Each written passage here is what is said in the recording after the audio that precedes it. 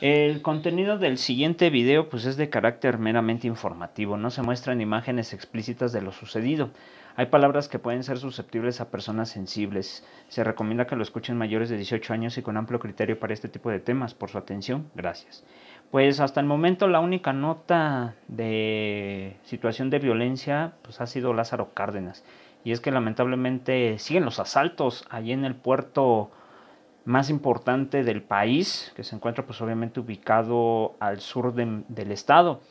Durante un asalto con violencia hacia un taxista resultó herido de bala, afortunadamente esto ocurrió en la colonia Las Colinas Infonavit, donde se registró en un estacionamiento cerca de las instalaciones de un Conalep, sitio en el que los maleantes pues, sorprendieron al taxista quien se opuso al robo y fue baleado.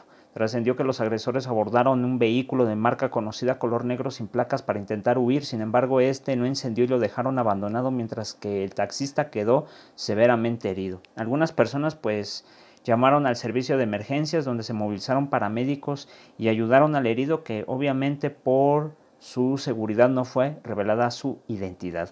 Diversas corporaciones de seguridad implementar un operativo en busca de los delincuentes, pero no hay ninguna detención, pues como siempre, ¿verdad? Ya se dio aviso a la Fiscalía del Estado. Pues sí, es una situación que sigue ocurriendo en Lázaro Cárdenas y obviamente que hay células de grupos delictivos como los Viagras y también la gente de Cartel Jalisco Nueva Generación, pero por ahí mencionan que ya la familia michoacana podría llegar a esa zona.